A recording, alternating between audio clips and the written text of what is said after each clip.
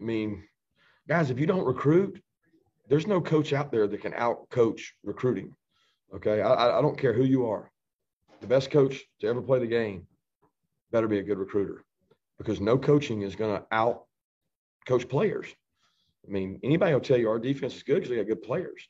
So spending time on the phone, you know, spending time with people at your house, spending time with people when they come to your campus. You know, I, I'm not with my family when I'm doing that.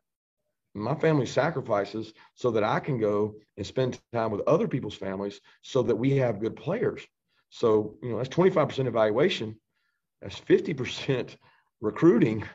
And another 25% is going to be coaching. But if you don't recruit guys, you got no chance. Just go look. Look at the best teams out there. They got good football players. And that's the reason I believe in recruiting. And I believe you better always be recruiting, always be recruiting, because if you're not, somebody else is. We'll take one final